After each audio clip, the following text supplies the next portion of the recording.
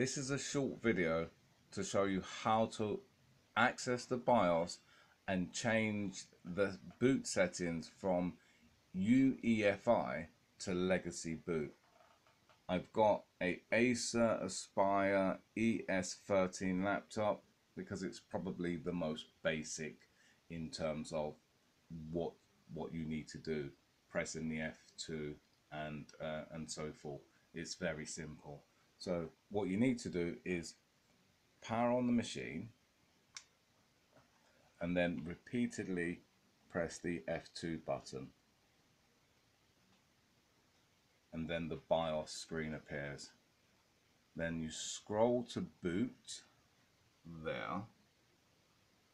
And on this it's already set for in the boot mode it's already set to legacy. But if I click on that it gives me another menu there where it's the UEFI or legacy boot that I can select.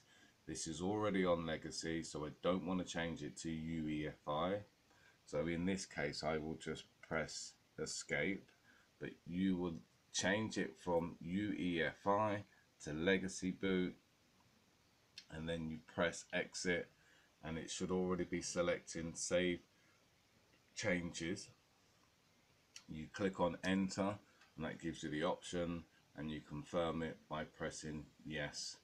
And then your machine will start it will restart and start into BIOS. Thank you. Cheers. Bye